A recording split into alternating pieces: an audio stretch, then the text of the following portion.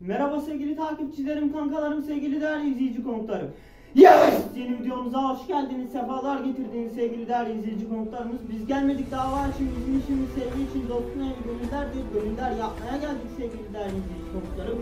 Herif eyledik ötürü, pazar eyledik ötürü, yaradılanı hoş gördük, yaradılanından ötürü sevgili değerli izleyenlerim. Sev seni seveni, hak ve yeksan, sev sevmesini sevmeyeni, Mısır'a sultan ise sevgili değerli izleyici konuklarım ve evet sizlerle beraber Yes! Videomda tekrardan hoş geldiniz.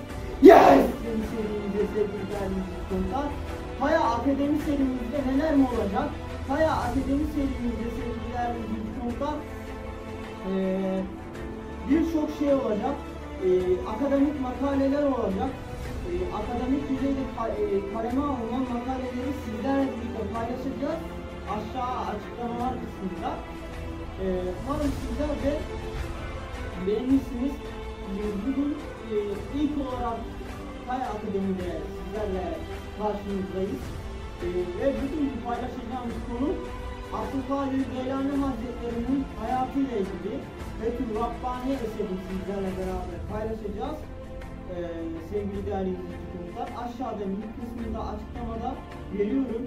Ee, yorumlar kısmına da yine ulaşabilirsiniz ve yine aynı şekilde 30 tane pdf var. Ee, İbn Arabi ile alakalı olur, çeşitli Abdülkadir Geylani Hazretleri ile alakalı pdf'ler olur. Bu düzeyde, akademik düzeyde kaleme alınan e, bu şeyleri sizlerle birlikte paylaşacağız. Umarım beğendiğiniz bir video olur inşallah. Şimdi şey yapalım. 이성주